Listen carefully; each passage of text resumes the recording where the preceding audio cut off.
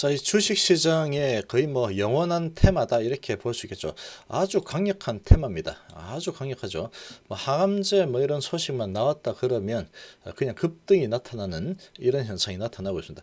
자, 오전에 지금 SCM 생명과학이 시작하고 15%까지 올랐다가 아, 지금 다시 쭉 내려서 이제 2% 정도밖에 오르지 못하고 있는 이런 상황이 전개되고 있죠. 자, 지금 이런 상황인데 이번에는 이 필룩스가 면역 항암제 임상 이상 환자 모집을 한다. 임상 이상 이제 환자 모집한다 이 소식이 나왔는데 예, 급등을 하고 있습니다. 급등을 했죠. 이 항암제 소식만 나왔다 그러면 그냥 뭐 올라가 버리는 그런 상황이 전개되고 있죠. 자 지금 필룩스 한번 보시면 엄청나게 지금 하락을 계속 엄청 크겠죠. 아주 오랫동안 어, 진행을 하다가 이제 임상 이상 환자 소식으로 어, 환자 모집 소식으로 어, 상치고 쭉 한번 밑으로 밀어내렸다가 다시 또 급등이 나타나고 있습니다.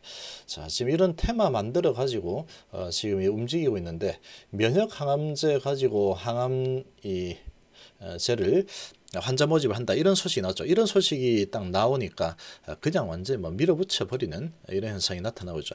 아주 강력하게 단일가 끝나고 나서 아주 강하게 위로 치고 가고 있는 이런 모습이 나타나고 있는데 저희 내용 한번 보시면 자, 필릭스 면역 항암제 임상 이상 환자 모집 개발 과정이 순항 어, 하고 있다. 이렇게 나왔죠. 필립스 미국 차에서 바이를 치는 면역 항암제에 대한 임상 이상을 위한 환자를 본격적으로 모집하고 있다고 어, 밝혔죠. 임상 이상 환자를 이제 본격적으로 이제 모집하고 있다. 아, 이런 상황인데 이렇게까지 반응을 하는 거 보면 얘가 이제 될지 안 될지 모릅니다. 될지 안 될지 모르는데 임상 이상이면은 아직 갈 길이 아주 멀죠. 근데 이렇게 움직이는 게 시총이 이제 4,700억 정도 되는 이런 상황이다 보니까 아, 이제 움직이는 거죠.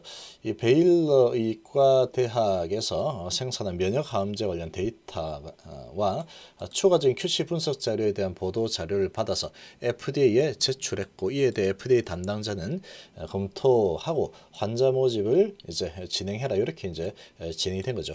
그러니까 이제 임상 이상 자, 이 소식이 뭐 있다 보니까 아주 강하게 지금 이제 또 임상이상 진행하는구나. 이제 면역항암제 개발 회사가 되는구나. 이런 기대감이 지금 아주 강하게 나타나고 있습니다. 어, 지금 뭐 스캇 박사 팀과 필릭스가 적극적으로 이제 협력하면서 면역항암제 개발을 위한 임상을 계속 추진할 수 있었다. 이런 소식이 나오죠. 10일부터 임상 연구를 위해 환자를 모집하기 시작했고 임상 연구 진행하는 토마스 제퍼슨 의과대학의 행정 절차만 남아있다. 행정 절차 완료되면 첫 환자에 대해서 치료제 주입을 시작으로 임상 연구를 본격적으로 개시를 한다. 그래서 이제 이렇게 나온 상황이다 보니까 어, 이제 뭐 어, 아주 강력하게 어, 스토리가 잘 만들어지죠. 예, 같은 경우에 지금 이제 보면은 자, 그룹별 환자 3명에게 먼저 투약하고 안전하다고 판단되면 다른 환자에 투약하는데 위암, 췌장암, 식도암, 대장암 대상으로 진행한다. 많죠? 위암, 췌장암, 식도암, 대장암. 이런 상황이니까 아, 이거 뭐 어, 상당한데 이렇게 이제 볼 수 있는 거죠. 어, 이 내용은 어, 미국의 국립의과 도서관 웹사이트와 FDA 웹사이트 등에서도 확인할 수 있다. 그러니까 이 거짓말 아니다 이런 거죠. 어, 필룩스 임상 2상 개시 계기로 어, 기존에 추진한 국내 유수 대학 및 연구기관과 공동연구 바이오 기업에 대한 투자 등도 본격적으로 추진한다. 이런 소식이 이제 나왔습니다. 이런 소식이 나오면서 어, 필룩스가 이 면역 항암제 그리고 위암, 췌장암, 뭐 식도암 이렇게 한다 그러니까 어, 상당히 스토리가 잘 만들어지죠. 거기다가 주가는 뭐 엄청나게 에, 하락을 해서 어, 바닥권에서 이 거래량이 뭐 거의 말랐었죠. 3천 원짜리가 80만 주씩 이 거래가 되다가 지금 이제 이 상당히 이제 시장의 이 스포트라이트를 받으면서 어, 요날 이제 11월 19일 날 이 상한가 이 소식으로 상한가 묻히고 어, 이렇게 단일가 하고 나서 다시 이제 이 소식이 나오면서 아주 강력하게 또 어, 지금 매수세가 들어오는 이런 현상이 나타나고 있죠.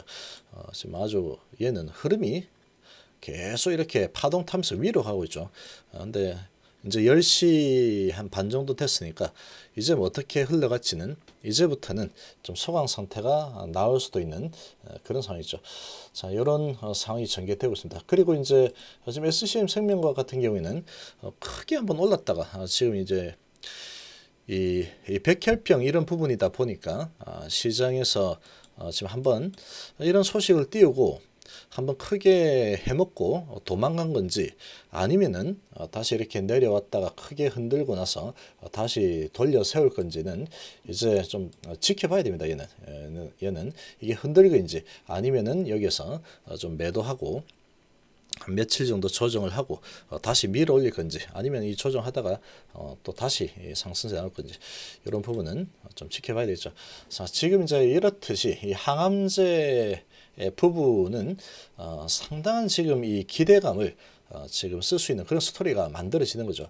어, 그러다 보니 박셀바이오도 잘 안 내려죠. 어, 올라간 상태에서 지금 잘 내려오지 않습니다. 좀 내려온다 온다 싶으면 저가 매수 들어와 버리고 이러죠. 자, BDI 같은 경우에도 어, 최장암 이런 부분이다 보니까 여기서 조정을 좀 쭉 많이 한 상태에서 11선에서 이제 내려가지 않으려고 어, 상당히 버티는 모습이 나타나고 있죠. 아주 강력하게 지금 버티고 있는 이런 모습이 나타나고 있습니다. 애매하게 여기서 버틸까 아니면 밀릴까 아주 지금 힘싸움이 열심히 전개가 되고 있는 모습이죠. 자, 이렇듯이 이제 항암제 이 부분은 한번 이제 진입해서 성공만 하게 되면은 엄청나게 지금 이제 진입 장벽도 정말로 높죠. 정말로 높은 상황이고 항암제를 만들게 되면 어, 엄청난 돈을 벌어 들일 수 있는 부분이고 영업이익률이 아주 크기 때문에 이렇게 이런 소식만 나와도 나와도 좀되 겠다라는 그런 어, 스토리만 형성이 되면 나중에 되고 안 되고 이건 뭐 중요하지 않습니다. 스토리만 형성되면은 그냥 올라가 버리죠. 이 매드 팩터도 지금 항암제죠. 어, 항암제, 항암제로 엄청나게 올랐습니다.